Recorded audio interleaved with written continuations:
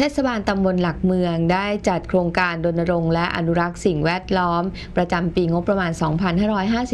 2554 ที่บริเวณคลองหนองยาวหมู่ที่ 4 ขออภัยค่ะหมู่ที่ 3ตำบลพงสวายอำเภอเมืองจังหวัดราชบุรี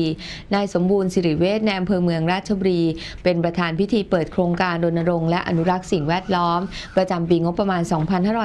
2554 โดยมีหัวหน้าส่วนราชการ ทหาร กำนัน ผู้ใหญ่บ้าน และประชาชนในพื้นที่เข้าร่วมกิจกรรมเป็นจำนวนมาก อาทิ พันตำรวจเอกสุพัฒน์เชยชิต รองผู้บังคับการตำรวจภูธรจังหวัดราชบุรี นางปาริดาปฐมพัฒน์อดีตนายกเทศมนตรีเทศบาลตำบลหลักเมืองเป็นต้นสำหรับโครงการดังกล่าวจัดขึ้นเพื่อเป็นการเทิดพระเกียรติพระบาทสมเด็จพระเจ้าอยู่หัวภูมิพลอดุลยเดช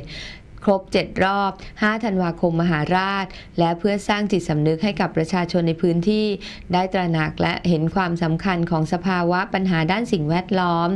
พร้อมทั้งยังส่งเสริมให้ประชาชนมีส่วนร่วม ในกิจกรรมการรณรงค์อนุรักษ์สิ่งแวดล้อมในชุมชน ใช้เป็นแหล่งเพาะพันธุ์หญ้าแฝกที่เกษตรกรในพื้นที่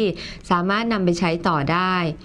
นอกจากนี้ภายในกิจกรรมมีการมอบวัสดุอลูมิเนียมให้แก่สำนักงานสิ่งแวดล้อมภาคที่ 8 เพื่อรวบรวมจัดทำแขนขาเทียมพระราชทาน และกิจกรรมบำเพ็ญสาธารณประโยชน์ในพื้นที่อีกด้วย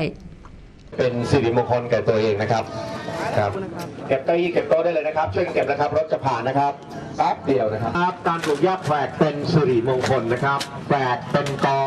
ต้นกับคนหมู่มากในชุมชนนะครับ ส่วนหนึ่งหญ้าแฝกเป็นพลัง ชนิดหนึ่ง ซึ่งจะทำให้ตัวช่วยกันปลูกหญ้าแฝกนะครับ เพื่อเป็นมงคลกับตัวเองนะครับ ท่านยึงได้